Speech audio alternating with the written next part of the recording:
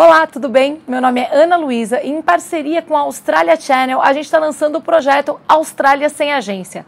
A ideia é contar para vocês o que nunca ninguém contou sobre o seu intercâmbio na Austrália.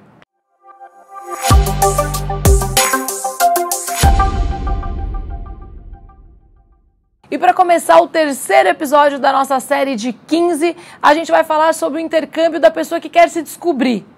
Quem nunca quis largar tudo para trás e começar a vida num lugar novo, sem conhecer ninguém, sem nenhuma bagagem para carregar?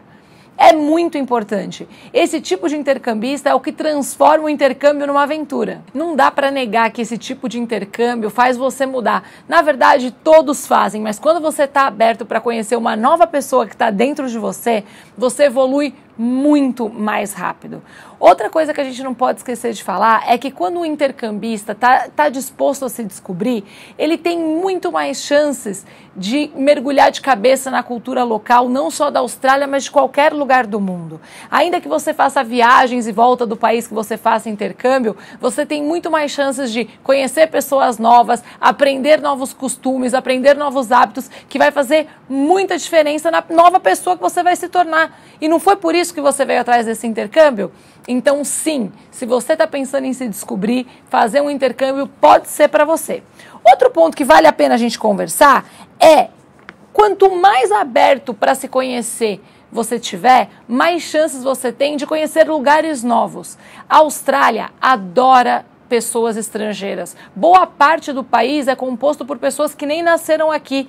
Então, não, você não vai se sentir um peixe fora d'água porque você não tem o inglês perfeito que você queria ter, ou então se você não é tão loirinho de olho azul como você acha que são todos os australianos.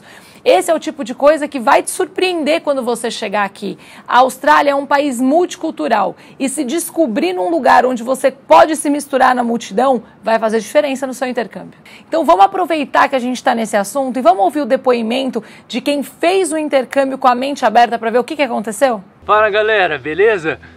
Então, a Australia Channel me convidou aqui hoje e pediu para falar um pouco sobre como o intercâmbio ele mudou a minha vida, impactos positivos, negativos. E é uma coisa bem abrangente. Faz cinco anos que eu fiz meu, meu primeiro intercâmbio longo, que eu fiquei, eu fui para a Austrália e eu morei lá por dois anos e meio. Nesses dois anos e meio eu fiquei com visto de estudante na Austrália. Eu fiz curso de inglês, curso de um, técnico de marketing e um outro de pintura. Mas, como eu posso dizer, todo esse tempo que eu tive na, na Austrália foi realmente foi muito gratificante. Se você perguntasse, Pedro, que pontos da sua vida o, o intercâmbio ele mudou você? Eu diria tudo. Com, completamente, ponto de vista profissional, pessoal e tudo para um, um lado melhor, eu posso dizer. Eu me considero que com todos esses anos que eu estou fora, estou viajando, ganhando novas experiências, eu, eu fui melhorando, eu estou satisfeito, vamos dizer assim, com a pessoa que eu me tornei. Mas tudo começou com essa, esse primeiro passo que eu dei indo para a Austrália, que foi para descobrir um mundo novo. Até então eu só tinha ficado no, só tinha morado no Brasil, então foi minha primeira vez num país desenvolvido, onde as coisas funcionam, numa primeira ótica tudo parece lindo, tudo é maravilhoso, casa sem cerca elétrica, uma, umas coisas bobas, mas foi, foi muito bacana. E uma coisa que eu nunca esperaria, a princípio eu só para ficar sete meses, era o meu intercâmbio inicial, acabei ficando dois anos e meio, a partir daí eu peguei o gosto nisso de viajar, morei um ano na Nova Zelândia, depois, agora eu tô atualmente na França, já é meu segundo ano que eu tô morando aqui na França. E nesses meio tempos em países que eu morei, eu também fui viajando por vários países na Europa, na Oceania, Ásia, na América do Sul.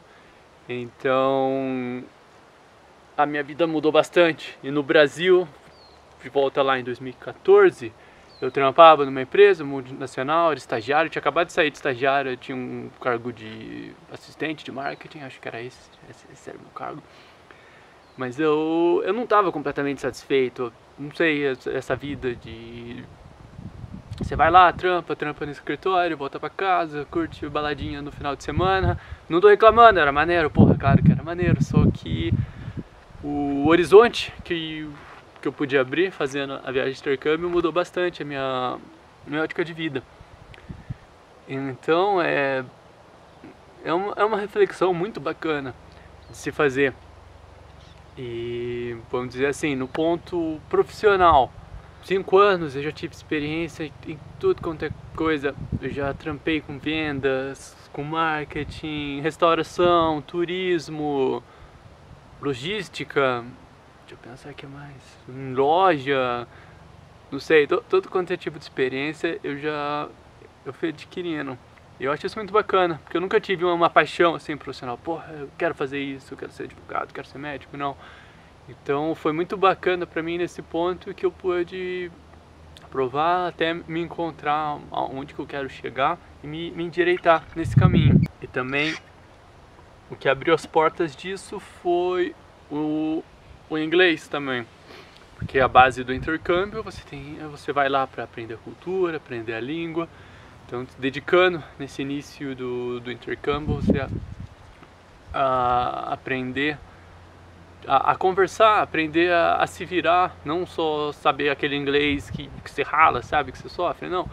A aprender a se conversar, aprender a trampar, aprender a seguir a sua vida, como se inglês fosse a sua, nunca vai ser a língua materna, mas como se fosse, sabe? E isso muda bastante, porque a partir daí tudo fica mais fácil.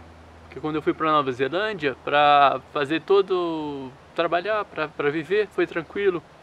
O mesmo aqui na França, por que que pareça, eu, eu vim aqui sem falar um A de francês, eu aprendi o francês nos últimos dois anos.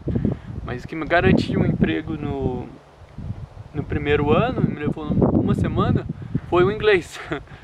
Porque eu trabalhei numa empresa que atendia pessoal de turismo internacional e foi o inglês que me salvou. Então, um cenário completamente que eu nunca imaginaria, primeiro que estar tá aqui na França, e segundo que o, o inglês que eu aprendi na Austrália foi o que me garantiu um emprego bom aqui. Então são vários pontos e você começa a imaginar, você pode, ah, mas e se, se, se, é, é, é doido, mas é, é completamente gratificante, sabe? E eu encontrei alguém também, agora eu tô com a, a minha namorada aqui, encontrei alguém que também gosta dessa vida doida, sabe? De viajar, ficar morar um ano aqui, um ano lá e pra lá.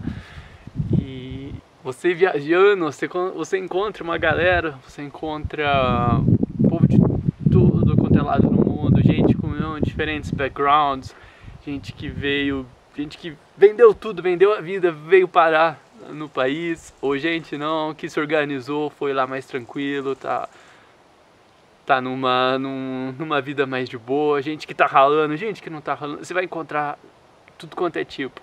E é quando você começa a conversar, você vê os caminhos que cada um tomou, as escolhas. E nossa, é, é infinito, é infinito. Ou mesmo até falando de visto. Tem visto estudante, visto de trabalho, visto daquilo, daquilo, daquilo, daquilo. É, é muita coisa. Esse é o ponto também. Se tá, tá em dúvida, tá querendo conversar, fala com a galera da Channel. Porque muitas vezes também eu, eu converso com vários amigos meus e fala, puta Pedrão, eu queria, queria viajar, mas começa isso, isso, isso. Eu falo, meu, mas se você ficar procurando desculpa também, você nunca vai.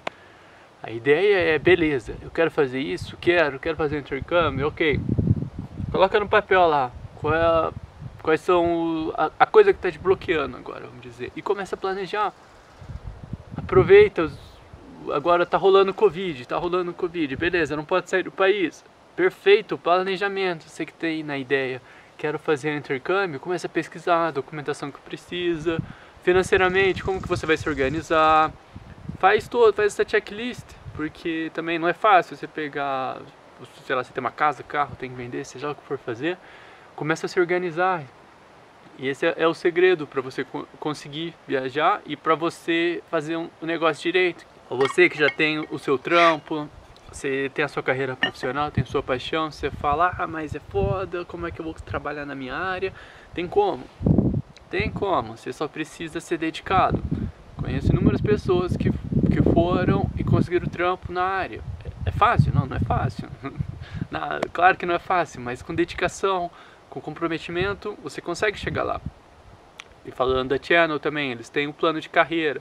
que pode te auxiliar a seguir o, o seu ramo profissional na Austrália. Eu não sei se isso pode, dar, pode engrenar um, um outro tópico, mas agora eu tô seguindo uma vida de nômade digital. Manja, aquelas coisas que você tem só o seu, o seu laptop, você trampa, só precisa de internet. Isso é muito bacana também. Porque por incrível que pareça, agora eu tô aqui na França, mas a empresa que eu trampo é australiana. Então esse é outro ponto também, porque eu tava no, no LinkedIn procurando trampo, eu troquei ideia com essa empresa e me contrataram. E um grande fator foi que eu já morei na Austrália, então eu conheço como funciona aí. Então outro ponto que eu nunca imaginei que o intercâmbio poderia me mudar, mas como eu já tinha feito intercâmbio na Austrália, eu já conhecia como as coisas funcionam na Austrália, eles me contrataram mesmo eu não estando aí. E agora eu posso seguir essa vida de nômade digital, que pô, é bacana. Então, é isso aí, galerinha. Aquele abraço, eu vou seguir porque o sol tá, tá baixando, daqui a pouco vai ficar frio aqui, porque aqui já tá nevando. Então, começa a pensar também, para você sair dessa zona de conforto, se tem alguma coisa, faz essa reflexão, se tem alguma coisa que está te incomodando, por que não fazer uma viagem? E também não precisa ser uma coisa pro resto da vida, você fala, não, quero pegar, viajar, só pra sair da mesmice, sabe? Uma coisa que, que, que, abre o horizonte. Quantas pessoas, quase todo mundo vai pro intercâmbio fazer assim, ah, vou sair só pra ver o que vai rolar, ficar uns meses, e no final ama e acaba ficando. Ao mesmo tempo tem gente que volta e não tem problema, cada um faz da vida, cada um segue a vida como quer, mas o interessante é você sair da zona de conforto, sair da bolha, sair para explorar, ver as coisas com seus próprios olhos, não somente ver relato dos outros, mas você passar pelas experiências, vai ter perrengue, vai ter perrengue, mas é bacana, no final é, tudo vira risada, no final você toma uma breja no fim do dia e ó, passou. A mensagem que eu tô querendo passar com esse vídeo é que muita coisa boa pode acontecer, sabe? Então aproveita. É isso aí. Como o intercâmbio mudou a minha vida, simplesmente mudou. Mudou tudo. E de uma maneira que eu não me arrependo de jeito nenhum. E assim que o Covidão liberar, tô voltando para Austrália para dar um alô para vocês pessoalmente, para a gente fazer um, um, vídeo junto, falar que ó, depois de cinco anos colei de volta para dar um salve. Não sei se aparecer na câmera aqui, ó, vocês são top. Esse tipo de intercambista que tem prioridade em conhecer a si mesmo é o que conquista mais coisa em menos tempo. E eu não tô falando de coisa material, não. Eu tô falando de paz de espírito e tranquilidade, que normalmente é o que essas pessoas estão procurando quando vêm para cá. Na verdade, o grande problema desse intercambista que procura o melhor de si mesmo, é que muitas vezes quando ele volta para o Brasil ele não se sente mais em casa, porque ele descobre que o mundo é a casa dele. E ele se vê em várias possibilidades, como o Pedro que a gente viu aqui no depoimento, que depois que saiu da Austrália não conseguiu mais morar só no Brasil, já morou em dois ou três países depois que acabou, depois que terminou o intercâmbio na Austrália. E é esse o tipo de intercambista que a gente quer que você se torne quando você vem para a Austrália, se é isso que você deseja para você. O intercambista que resolve fazer esse tipo de viagem para se descobrir é uma pessoa que, quer, que tem vontade de ser ela mesma. E muitas vezes isso é desencadeado por causa de um emprego que te deixa muito louco, ou então uma família opressora e até uma opção sexual que faz com que você não se sinta confortável no ambiente que você foi criado. O importante disso é que você saiba que a Austrália tem pouquíssimo preconceito com opção sexual ou raça. Aqui todo mundo é bem aceito mas também não tem nada muito certo ou errado sobre esse assunto. Se você for fazer seu intercâmbio para evoluir, ser uma pessoa melhor ou ser uma pessoa mais bem resolvida, e assim que você chegar nesse, nessa sensação maravilhosa, resolver voltar para o Brasil, perto de quem te ama e quem ama você, tá tudo bem também. A ideia é que você consiga usar seu intercâmbio de uma em forma de crescimento, para que você volte extremamente realizado. Isso sim é muito compensador.